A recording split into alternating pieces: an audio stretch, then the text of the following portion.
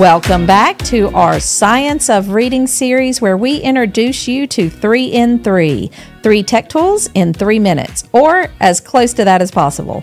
I'm Lisa Flanders Dick, and today we're diving into tools that support phonological awareness. As you know, this is a critical skill in early reading development. In this episode, you'll learn about a game that fosters phonemic awareness, a low tech tool for providing center instructions, and a way to elevate your use of Elkonin boxes for blending and segmenting.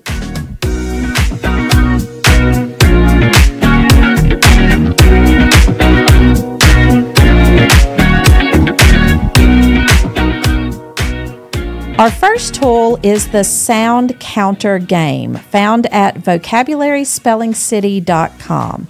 This game is excellent for fostering phonemic awareness skills.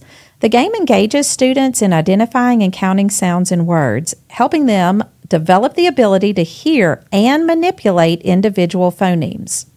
You, the educator, can select from a variety of lists. Then the students are able to hear the word, see the word, and drag and drop little speaker icons according to how many sounds they hear.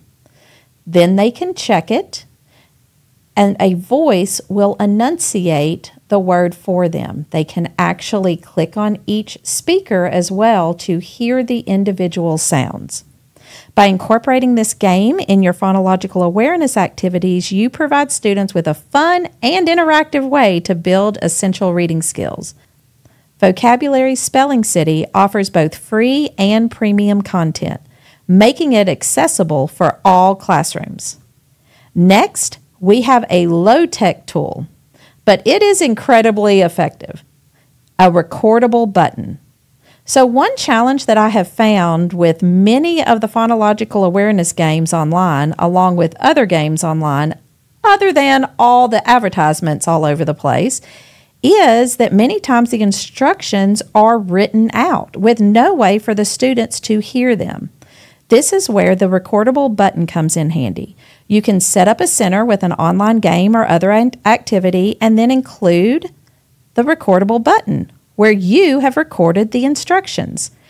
When students are working in the center, they simply push the button to hear your directions.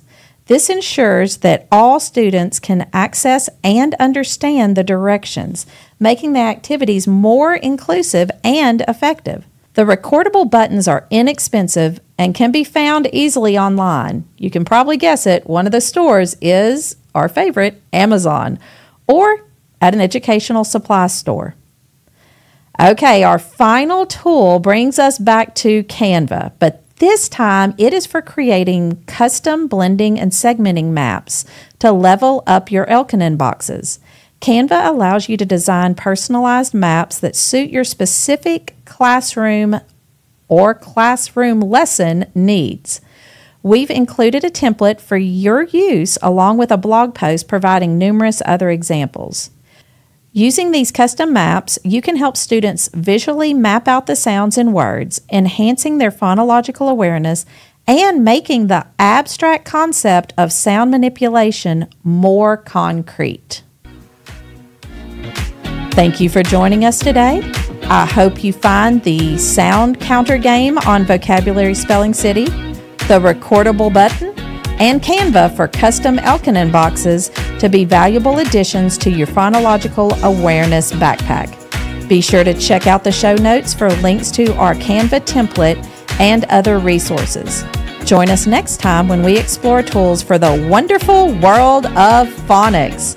This podcast was made possible in part by the collaborative effort of the Louisiana Department of Education and Louisiana Tech University through the Science and Art of Teaching Reading project.